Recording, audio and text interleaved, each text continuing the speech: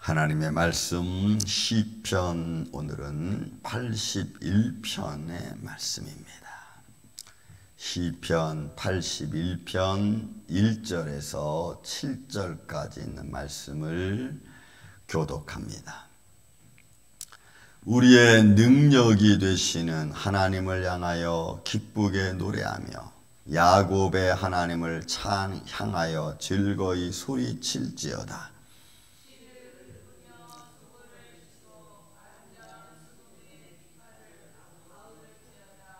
초하루와 보름과 우리의 명절에 나팔을 불지어다.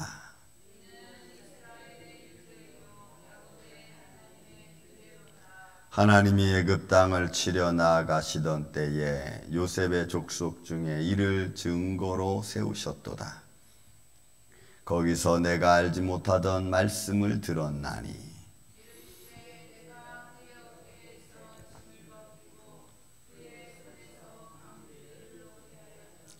내가 고난 중에 부르짖음에 내가 너를 건졌고 우레소리의 은밀한 곳에서 내게 응답하며 무리바 물가에서 너를 시험하였도다. 아멘. 자 오늘도 우리 아사벳이 또 어, 인도자를 따라 기뜸에 맞춘 가락에 맞춘 아, 시입니다. 자, 이 81편의 시는 어떤 시로 되어져 있는가 하면 오늘 아삽은 어떤 것을 하나님을 찬양, 예배하는가를 좀 보겠습니다. 여러분 1절부터 어, 우리 3절까지는 하나님을 향한 찬양의 시로 되어져 있습니다. 근데 그 찬양이 뭐냐면 1절이 굉장히 중요합니다. 우리의 능력이 되시는 하나님을 향하여. 여기서 이 능력이라는 말은 오즈라고 하는 말인데 신약에서는 두나미스 하나님의 권력, 쉼, 대적자를 물려주지는 물리치시는 그런 하나님의 어떤 파워적인 말을 이야기했다면 여기에 나오는 하나님의 능력은 어떤 거냐면 힘과 어떤 그, 그, 그, 그 능력 이런 것을 표현하는 거지만 이 능력은 하나님을 향하여 예배하는 자들, 하나님의 은혜 가운데 거하는 자들이 평안히 살아갈 수 있도록 지켜주시는 하나님의 인자하심을 말하는 거예요. 이 능력. 그래서 이 오지라고 하는 것은 어떻게 보면 하나님의 속성과 같아. 하나님의 본질과 같은 거예요. 하나님의 사랑하는 자들이 평안히 살아갈 수 있도록 지켜주시는 하나님의 손길. 이걸 여기서 지금 말하는 거예요. 자, 그러면 오늘 우리와 저와, 저와 여러분은 어떻습니까? 여러분 삶이 평안하십니까? 평안히 살아가고 있습니다. 그렇게 뭐, 그러니까 우리가 평안하다는 것은 막 지금 뭐 가자 지구 지금 전쟁이 지금 계속 끊지지 않죠.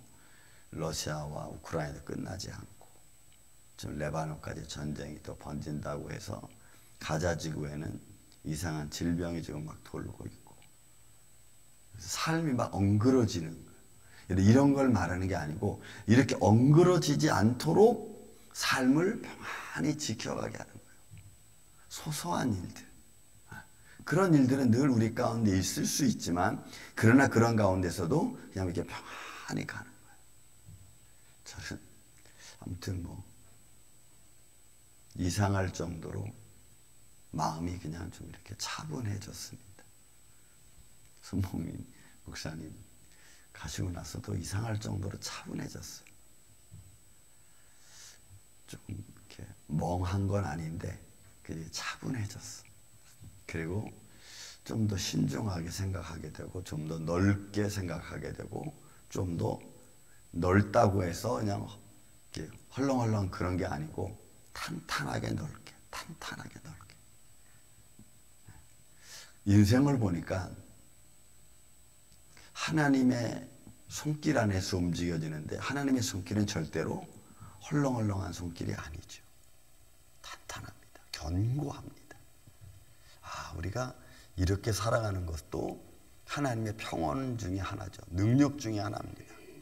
그러니까 여기서 나오는 지금 아삽이 찬양하고 있는 것은 많은 어려움 그동안 앞에도 보니까 막 이스라엘 백성들의 험난한 모습, 뭐 대적에게 쫓기고 막 어려움 당하는 모습, 노예로 팔려가는 모습, 이런 모든 과정에 있어서도 하나님의 은혜를 구했듯이 이제 여기서의 평안은 그런 거예요. 내 삶 속에 그렇게 큰 풍랑이 없는. 그래서 어떻게 보세요, 여러분? 그런 능력을 주시는 하나님, 그 하나님을 향하여 내가 어떻게 해요? 기쁘게 노래하고 야곱의 하나님은 언약의 하나님을 말해. 내가 너의 하나님이 되고 너는 내 백성. 야곱의 하나님은 언약의 하나님을 이야기하는 거예요. 여러분 그 언약은 불변입니다. 그 언약은 불변입니다. 변하지 않아요.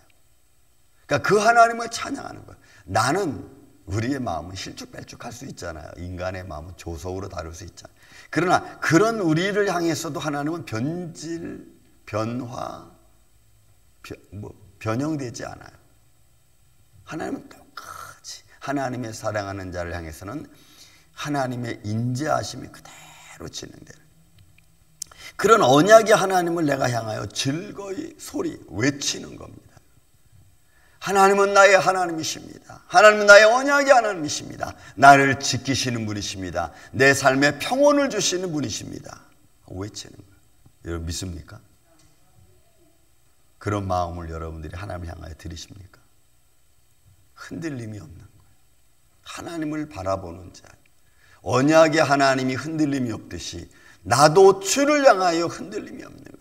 적어도 주님이 나를 향하여 흔들리지 않으시니까 주님이 적어도 나를 향하여 한 말씀을 변질하지 않으시니까 나도 하나님을 향하여 이런 마음을 갖겠습니다 라고 하는 거예요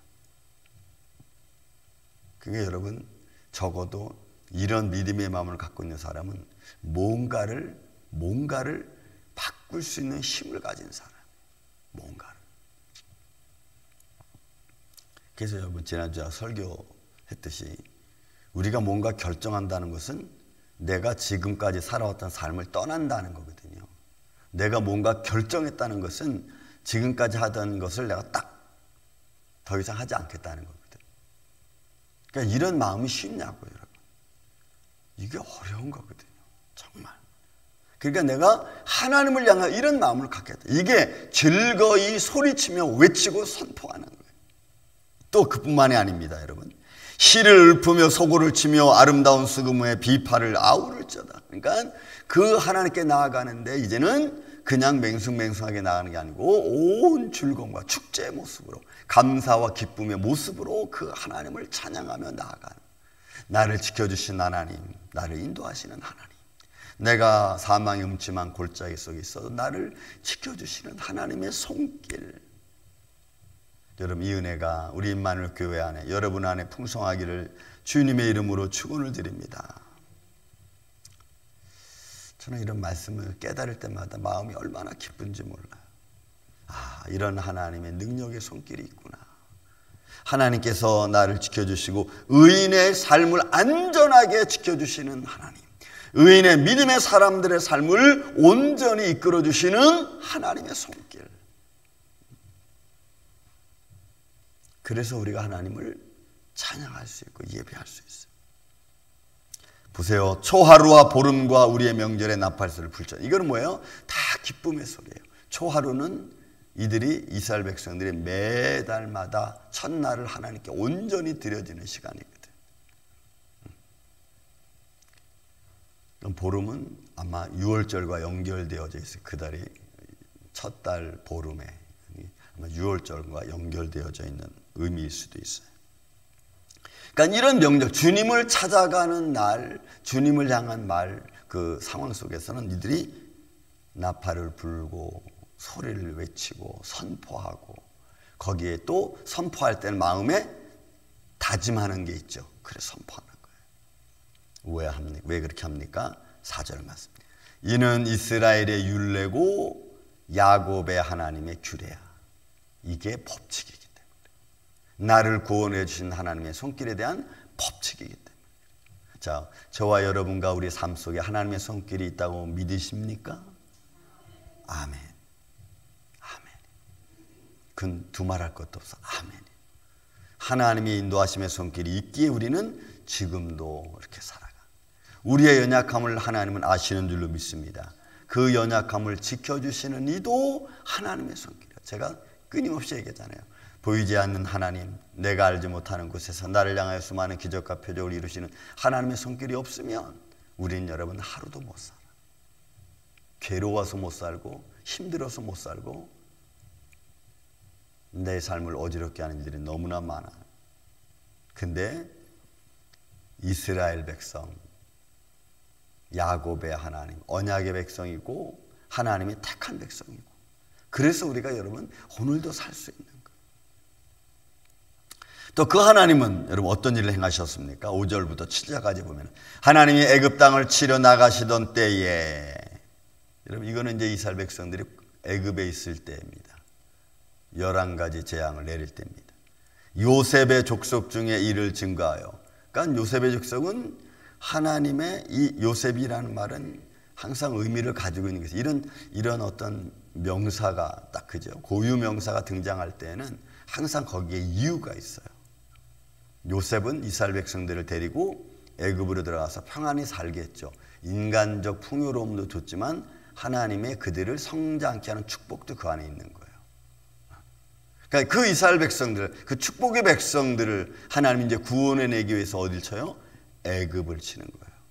그 여러 가지 재앙을 말하 그렇게 치러 나가실 때에 요셉의 족속 중에 이를 증거하여 세웠도다. 왜? 그들을 하나님 이끌어내시기로 작정하신 게 보여주는. 그러니까 재앙이 내릴 때 이스라엘 백성들은 뭘 봐요?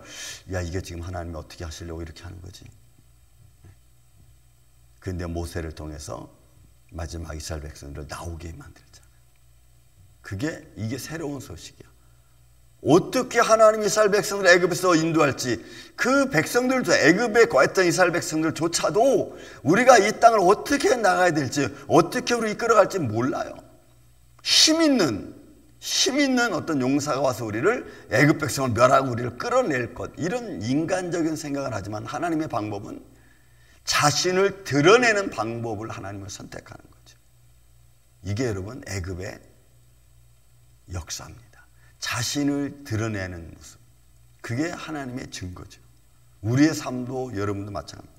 하나님은 여러분 우리한테 기적과 표적을 배워주실 때 우리를 축복하기 위해서 하는 것도 있지만 근본적인 것은 내가 너를 지키는 여호와 하나님 부활하신 주 예수 그리스도다라고 가르쳐 주는 것인 줄로 믿습니다. 그걸 증거하는 거거든요. 그래서 나한테 평안이 있고 그 은혜가 나를 이끌어가는 거예요. 그러니까 하나님을 자신을 드러내기 위해서 하나님 우리에게 역사를 일으키시는 거지 나만 축복하게 하고 하나님은 그냥 잘 드러내지 않는 이런 모습이 아니라 근본은 하나님의 모든 기적은 여러분 마태복음 마태마가 누가 우리 공간복음 많은 예수님의 기적을 일으키잖아요. 그 기적이 뭐예요? 너를 사랑한다는 것도 있지만 그렇게 이, 그 기적을 이루시는 이가 바로 나 여호와다, 나 예수다라고 하는 것을 증거하는 거거든 사실. 근데 우리는 뭐만 보고 있어요? 그렇게 행하시는 내가 예수다, 내가 부활해 주다라는 것은 빼놓고, 어? 병이 났네. 뭐 힐링 사유를, 요, 요거만 보는 거예요. 그 너무너무 작은 의미죠.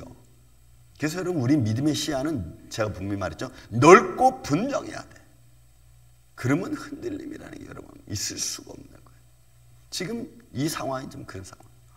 애굽을 치러 나가실 때 요고수의 즉속에 새로운 증거를 받아. 그 새로운 증거는 뭐예요? 이 땅에서 너희는 이제 나갈 거라는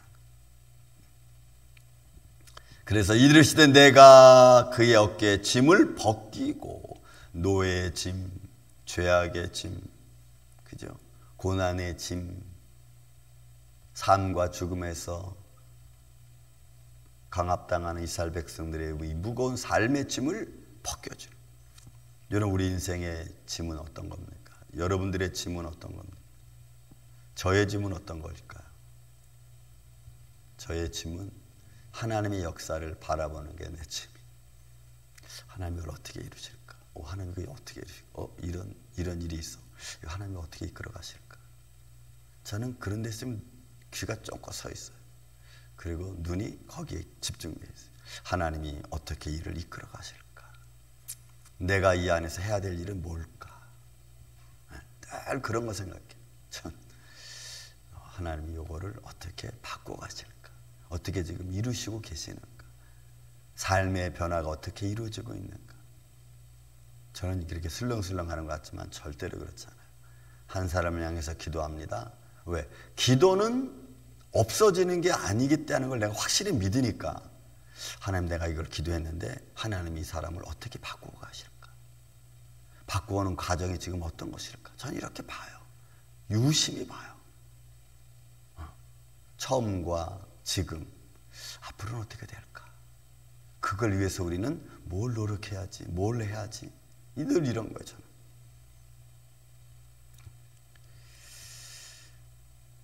그래서 어느 것 하나도 그냥 헛되게 보지 않는 거죠. 보세요. 내가 고난 중에 부르짖었던 이건 출애굽기 2장 24절 25절 말씀입니다.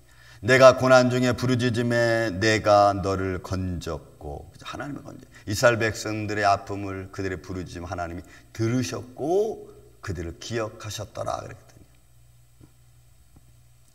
우레소리의 은밀한 곳에서 내게 응답하며 무리바 물가에서 너를 시험하였도다.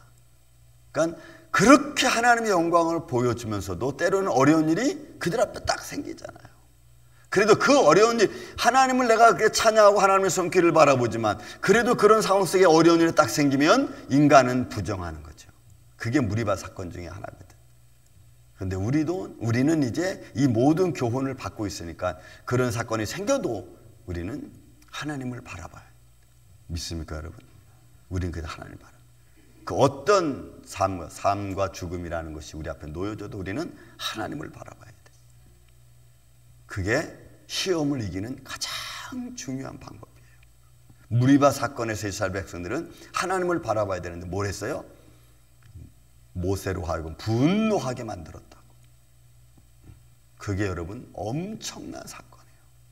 그러니까 우리는 이런 것들을 말씀의 교훈을 보면서 아 이런 상황이 벌어져도 우리는 하나님을 바라봐야 되는구나 라는 것을 우리는 교훈으로 받는 거 그래서 우리 임마누 교회가 이 아침 저와 여러분이 이런 하나님의 손길 능정 의인들을 하나님의 자녀들을 안전하게 살아가게 만들어 주시는 하나님의 능력 안에서 하나님을 찬양하고 예배하고 그분을 바라볼 줄 아는 이 아침에 저와 여러분 되시기를 예수님의 이름으로 축원을 드립니다.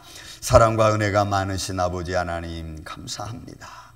우리가 날마다 주님을 바라보면서도 인간의 연약한 모습을 가지고 있기에 때로는 힘들고 어려움을 주님 앞에 고백합니다. 주님, 우리를 불쌍히 여겨주시고 국률이 여겨주셔서 오늘 이스라엘 백성들이 아삽의 찬양시처럼 우리를 우리 우리에게 주님께서 주시는 우리를 지켜주시는 이 하나님의 능력, 우리의 능력이 되시는 하나님을 찬양한다는 이 놀라운 말씀처럼 우리가 오늘도 이 믿음 안에 살아갈 수 있도록 주님 역사하여 주시옵소서. 주님의 몸된 길을 지켜주시고 사랑 가정과 심령 심령들을 지켜 보호하여 주시옵기를 원하오며 사랑이 많으신 예수님의 이름으로 기도하옵나이다. 아멘.